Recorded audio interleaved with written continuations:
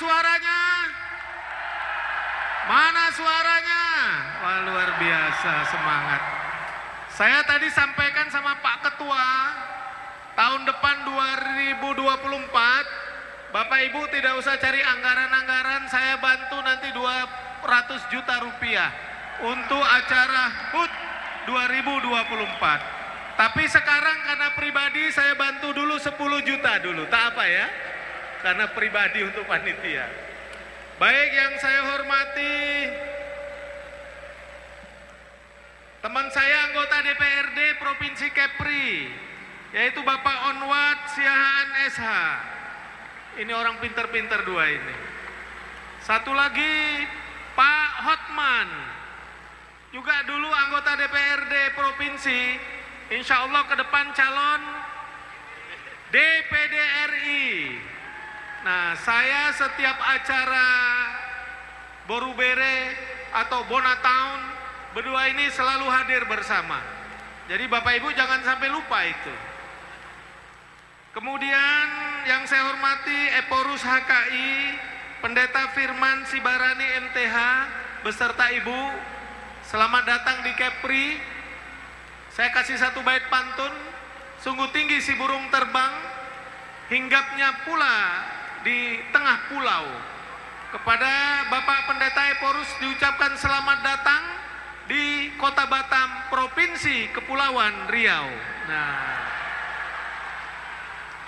Presis HKI, Pendeta Rimhot Simamora,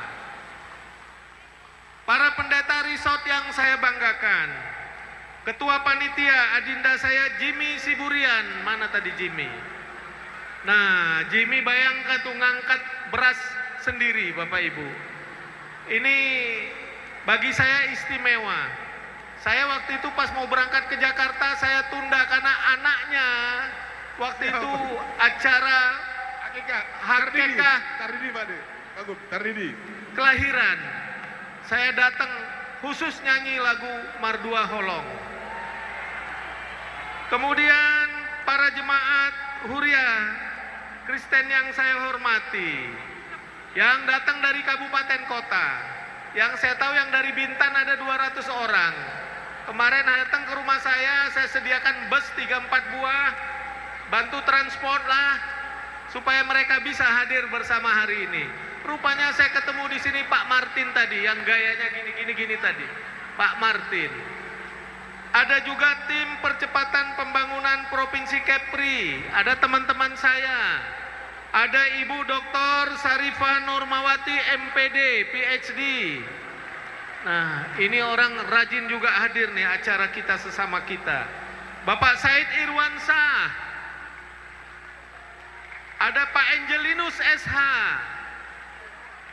ada Pak Anto Duha. Bapak Ibu, tim percepatan ini saya ambil dua dari umat Kristiani biar semua ada wakilnya. Nah, kemudian ada Kepala Dinas Tenaga Kerja. Ini yang selalu mewakili saya nih Bapak Ibu, top dia ini. Kalau pensiun bisa jadi anggota dewan juga dia nih.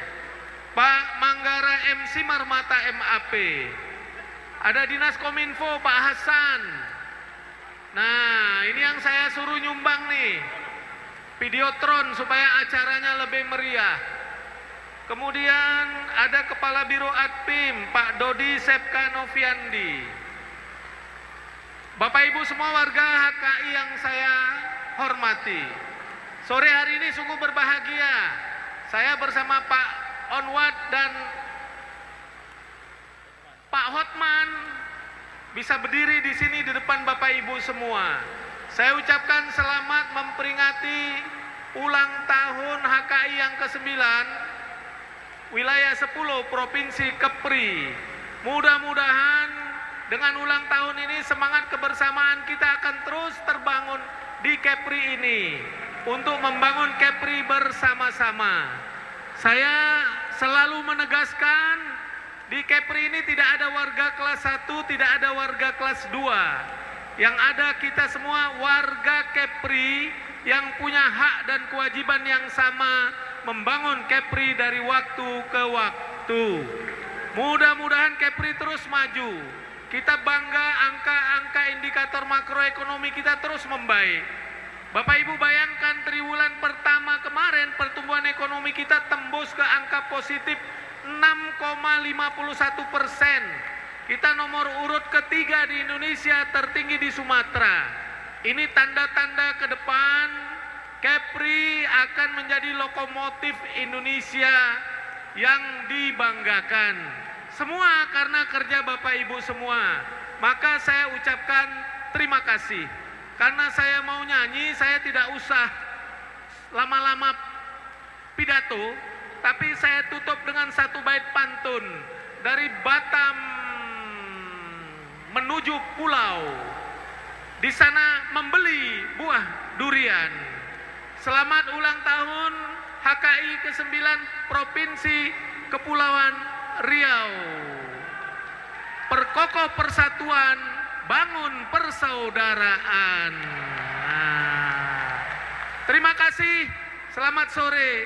Wassalamualaikum warahmatullahi wabarakatuh. Salam Om Swastiastu, Namo Buddhaya, salam kebajikan.